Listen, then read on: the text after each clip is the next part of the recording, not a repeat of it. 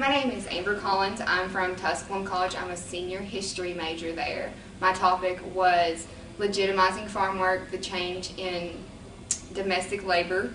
Um, my topic kind of was dealing with primary sources mostly. It dealt with the um, perception of women in farm work, um, how their jobs weren't really recognized, and how that during 1900 to 1929 they were appealing to the Department of Agriculture and the Department of Labor to recognize what they do in the home. They weren't necessarily wanting economic pay for it. They were just kind of wanting someone to recognize what they do. They asked for training to uh, enhance the skills that they had, such as cleaning, cooking, sewing, um, education of their children, and they were more wanting things that worked in their favor. And they wanted to define their work as an art form and not necessarily as something of economic pay because they believed that what they did in the house contributed to their husband's economic protection outside of the house.